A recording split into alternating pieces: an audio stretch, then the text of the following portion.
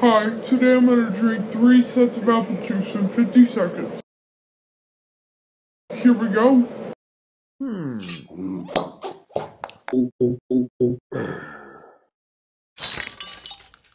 Hmm.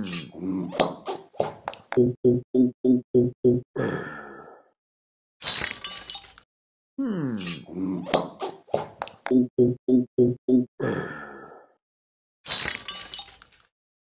I might have to.